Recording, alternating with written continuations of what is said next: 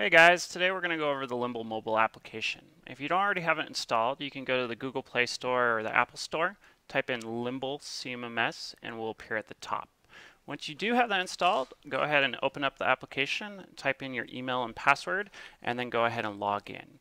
If you don't have credentials already set up for Limble, you can talk to your manager and they can go ahead and get you added uh, in the Limble web application.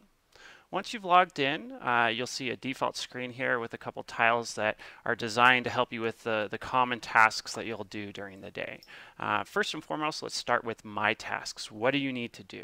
So we'll go ahead and click on this tile and you'll be able to see that I have two tasks here. I have a bad compressor and I have a quarterly maintenance PM. And so uh, it looks like this one has a higher priority, so we'll go ahead and let's go ahead and close out that bad compressor.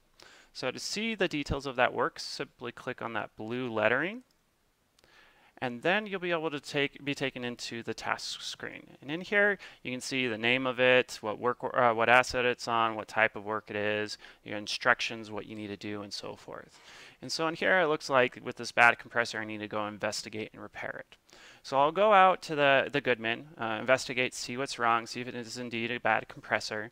Uh, in this situation, let's pretend it, it is a bad compressor. Um, so let's go ahead and check it off. We've investigated it. We've now repaired it. Maybe I'll want to add a picture or add a part, um, but I most definitely want to add a comment. Uh, so let's go ahead and add a comment saying the compressor was indeed bad, so I replaced it.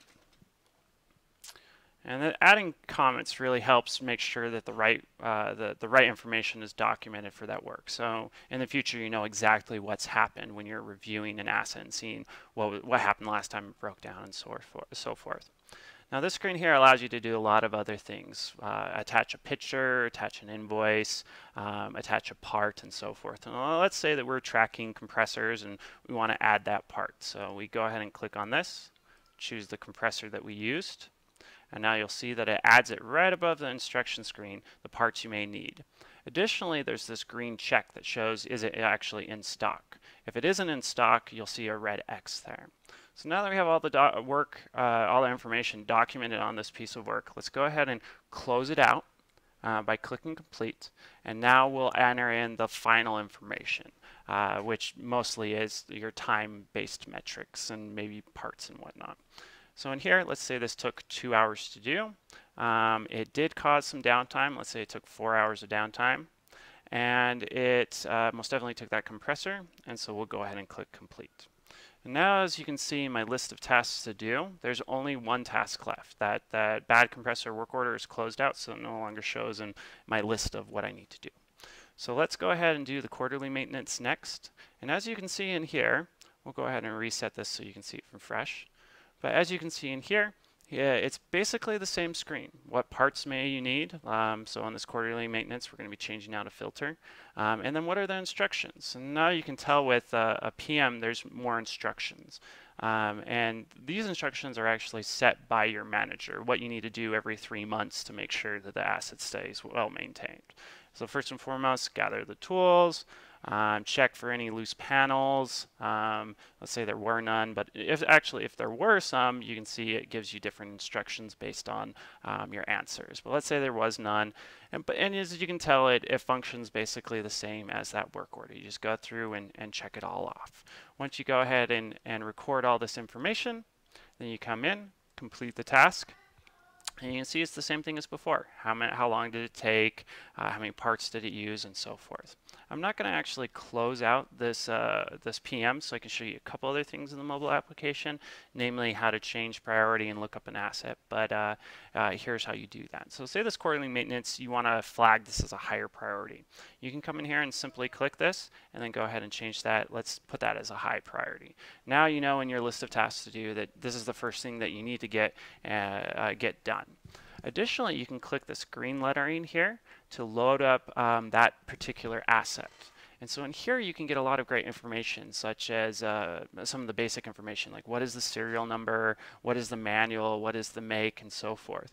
But additionally, you can actually go and look at the log and see when um, when was the last breakdown, uh, what work was done you know before, and you can see that this has a lot of bad compressors. It seems like it's a recurring theme. Um, it looks like some electrical was done and, and so forth. So this this link really allows you to very easily be able to figure out what's happening with a particular asset while you're actually working on it. So that's the My Tasks tile. The next one would be starting a work order. So let's say you're out in the field and, and you're doing some work and you need to log it. You'd simply click on Start a Work Order, choose the asset that you're working on. Let's, let's choose that Goodman again. Name the work that you're doing. So let's say replacing uh, bad compressor again. Now let's just go ahead and leave that one blank. We'll go ahead and choose myself, click start, and that brings you to that same screen as before. You can go ahead and check off that you're completed the work, uh, leave a comment for your boss or for your other maintenance techs. Maybe you wanted to add a picture or add a part or whatever the case may be. You can do that all right here. Go ahead and click complete. Log the hours. It took two hours, didn't cause downtime, there were no invoices, and go ahead and click complete, and now you're done. Now the next tile is for reporting a problem. So let's say you're out in the field and you come across a, an issue, but you're not you're not going to fix it on the spot. You just want to report it to your boss. Simply click report a problem, type in what the problem is. Uh, the HVAC is acting up again. Go ahead and attach a picture if you want. Choose the severity. Let's say that's a pretty high severity. Choose the asset. Let's choose the Goodman. Click submit. And now that problem is automatically submitted to the manager, uh, to your manager. Uh, he or she would have received an email and push notification letting them know that information that you typed in. That way they can go ahead and uh, review it, see if it's something that needs to be done, and then assign it out to the maintenance team. Um, and as you can see, you can actually come into My Tasks and see this problem report that you put in there, um, uh, uh, that you put in there that your manager will see. The next tile is looking up an asset. In here, you simply click on look, look up an asset, choose the asset you want to look at, click select, and then it shows you that same screen before. You can go ahead and look at the information again. You can look at the work history. You can even look at the, the PM templates or open PMs. You can look at the work orders. Just a lot of great information designed to help you do your job better. The final uh, tile is look up a part. If you click on this, it shows the different parts that you have on inventory, and you can go ahead and click on one and get the, the exact quantity. So let's see, I wanted to see how many compressors we have in stock. I can go ahead and click compressor, and I can see I have four quantity. Um, so now I know that my I have enough compressors to do my job. Additionally, if I was doing a manual inventory, I can go in and, and one by one update how many compressors we have or how many filters we have or whatever the case may be, and then go ahead and click save. I'm not going to update the quantity right now, so I'll just go ahead and exit out of that. And that's the Limble mobile application.